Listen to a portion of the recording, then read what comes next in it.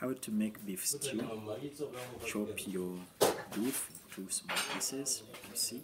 After that put it on fire add some water and boil it until the water is finished. When it's almost ready rero muguti masina mungavana chavanareria space onions eh potatoes marshmallow carrots and then red the red peppers and put some curry powder andiyona yakaingredients nje mani tukakoleka zvinhu zvamavukonyera mburi handasina mavakomokwa eh? cooking oil a little then you fry it.